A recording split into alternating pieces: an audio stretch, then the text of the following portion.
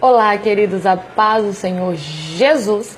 Exalta e bendiga o nome do nosso Deus por mais um dia, por tudo aquilo que Ele é e por tudo aquilo que Ele faz. Estou passando aqui rapidinho só para deixar uma palavra da parte de Deus para o teu coração.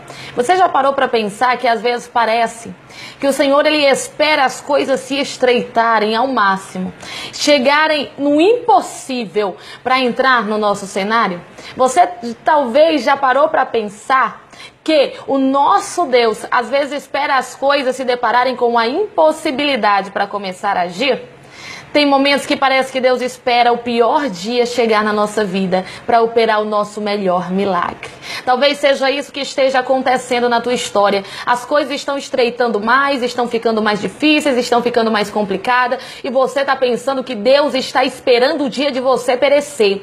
Mas o Senhor, Ele manda te dizer, Ele não está esperando o dia para você perecer, não. O que Ele está esperando é o pior dia para fazer o teu melhor milagre para você provar do agir sobrenatural de Deus. A Bíblia diz que um certo dia uma mãe lá na cidade de Naim perdeu seu filho e estava prestes a enterrá-lo. Eu imagino que na vida daquela mulher que já era viúva, já tinha perdido seu marido, não havia chegado o dia pior na sua história, mas foi exatamente naquele dia que a Bíblia diz que Jesus chegou no cenário daquela mulher e mudou completamente a sua história. Aquilo que era para ser seu pior dia passou a ser o dia do seu melhor milagre, porque Jesus não permitiu que aquilo que era dela descesse à sepultura. Jesus não permitiu que aquilo que era dela fosse enterrado. Jesus não permitiu que aquilo que lhe pertencia fosse sepultado. Olha só o que é que o Senhor ele manda lhe dizer. Jesus não está esperando o dia de você perecer, não. Jesus não está esperando o dia de você ser envergonhado, não. O que Jesus está esperando é você se deparar deparar com o seu pior dia para você viver o seu melhor milagre. Então descansa o teu coração.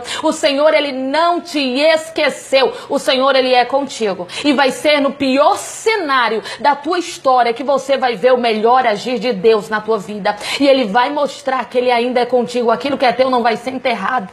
Tem pessoas que, que têm lutado tanto por algo e tá vendo aquilo que lhe pertence descendo para a sepultura e tá perguntando para o Senhor Deus o que é isso mesmo? O que é que está acontecendo aqui? Aquilo que é meu, eu vou enterrar, vou botar dentro de uma sepultura e Deus ele manda lhe dizer: "Não, te prepara, vai ter surpresa nessa história. Te prepara, porque aquilo que é teu não vai ser enterrado. Te prepara, porque no teu pior dia você vai viver o teu melhor milagre, porque você serve um Deus fiel. Assim como aquela mulher não enterrou aquilo que era dela, te prepara, porque aquilo que é teu não vai descer à sepultura. O Senhor, Ele é contigo. Amém, queridos? Guarda esta palavra profética no teu coração. Que o Senhor te abençoe poderosamente. Compartilhe essa mensagem com alguém. Tenho certeza que tem alguém precisando ouvir esta palavra. Glória a Deus.